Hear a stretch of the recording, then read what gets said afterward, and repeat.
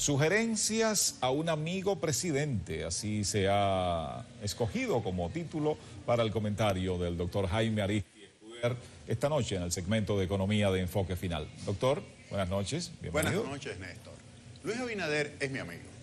De todos los presidentes con quienes he colaborado, Joaquín Balaguer, Leonel Fernández, Hipólito Mejía y Danilo Medina, Luis es la persona que yo mejor conocía antes de llegar a ese cargo.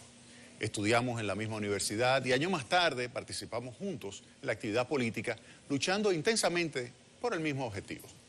Esa amistad me lleva a realizarle un conjunto de sugerencias en el día de hoy. El fondo y la forma de su discurso del 18 de agosto debieron ser distintos. Muchas de las afirmaciones no se corresponden totalmente con la verdad. En cuanto al fondo, no es cierto que en su gobierno haya plena transparencia y buen manejo de los fondos públicos. Hay casos de despilfarro de recursos y procesos de licitación poco transparentes. No es cierto que el año escolar haya sido exitoso. No es cierto que las inversiones públicas tengan mayor dinamismo que en el pasado. No es cierto que la recuperación económica sea un logro exclusivamente del gobierno central. No es cierto que es ahora cuando la economía dominicana es bien vista por los inversionistas extranjeros. No es cierto que el endeudamiento de este gobierno se haya utilizado principalmente para pagar deudas públicas pasadas, financiar gastos en salud y otorgar ayudas sociales.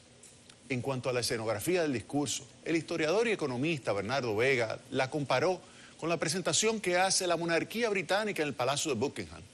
Pero la comparación pudo ser peor.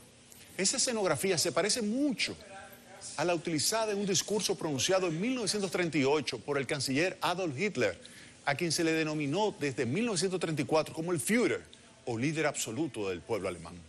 En esa ocasión Hitler habló desde una tarima que se elevaba desde la escalinata de un magnífico palacio en Berlín. En el caso dominicano, parece ser que se copió la forma de distribuir las banderas de una escenografía puesta en ejecución por el presidente Nayib Bukele del Salvador.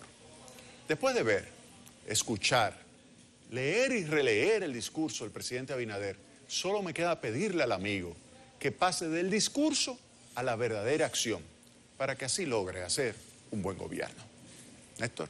Eh, doctor, pero aprovechando ese tema de la amistad, ¿algo positivo también que, que, destacar? Sí, la vacunación y yo creo que ese es el gran trabajo encabezado por Raquel Peña, que es para mí la principal funcionaria, la estrella de este gobierno. Bueno, pues entonces con eso vamos un poco emparejando la cosa, ¿sí?